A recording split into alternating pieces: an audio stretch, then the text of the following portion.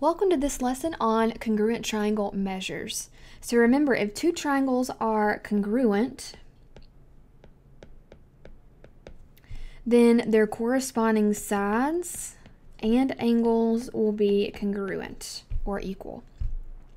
So in this first example, it says triangle ABC is congruent to triangle DEF, and we want to find all missing sides and angles. And there's a note that triangles may not be drawn to scale. All that means is the triangles might not look like they are exactly congruent, but we are to assume they are because we have this congruency statement. Okay, so I know that line segment AB or side AB should be congruent to DF based on my congruency statement. So they will be equal in measure. So DE will also be 8. And then DF would correspond with AC, so they would both be 12.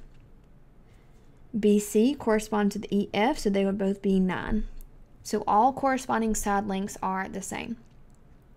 And then that's the same for angle measures. So angle B corresponds with angle E. They're both the same, 94 degrees. And then angle F and angle C will be equal, both 35 degrees. Now to find the third angle, we have to think about what the angles of a triangle add to equal. And we know that the three angles of a triangle add to equal 180. So I can add up 94 and 35, which gives me 129. And then I can subtract that from 180, which will give me 51. So angle A and angle D are 51 degrees. And then I just want to fill out these blanks on the right hand side. So angle A, the measure is 51. Remember this little m just stands for the degree measure. C is 35. E is 94. D is 51. Line segment AC is 8. DE is, let's see, um, oh, sorry, I have this wrong. AC is 12, DE is 8, and then EF is 9. There we go. All right, let's go ahead and do the next example. Triangle RST is congruent to triangle XYZ. Solve for X, then find the lengths of the missing sides. And again, the note triangles may not be drawn to scale, so we are to assume they are congruent based on this statement. So these are corresponding sides, and since the triangles are congruent, we know those sides are congruent, which means the lengths of those sides are the same. So we can set the expressions that represent those lengths equal to each other. And then we are just going to solve this like a normal equation. I'm going to start by subtracting x from both sides. All right, so x minus x, that's 0. 2x minus x is x. And then bring everything down. And then I want to isolate uh, the x, the variable. So I'm going to add 10 to both sides. Negative 10 plus 10 is 0. x equals 15.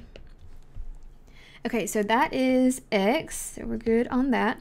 Now to find the lengths of the missing sides, we're going to substitute 15 in for x for each expression. So this one is x plus 5, so I can substitute x for 15 plus 5, which gives me 20. And then I'll do the same thing here,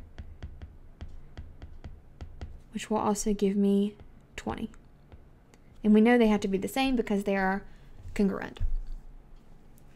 All right, one last example. Triangle JKL is congruent to triangle MNO.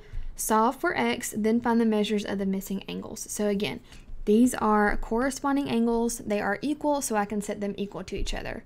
And by the way, it does not matter which expression you write first. Either way, you'll get the same answer. Also, you don't need parentheses um, and you don't need the degree measure marking. So I just need to write the expressions. All right, so I'm going to start by subtracting x from both sides. 3x minus x is 2x. Then I'll add 6 to both sides. 2x equals 56. And then divide both sides by 2. So x equals 28.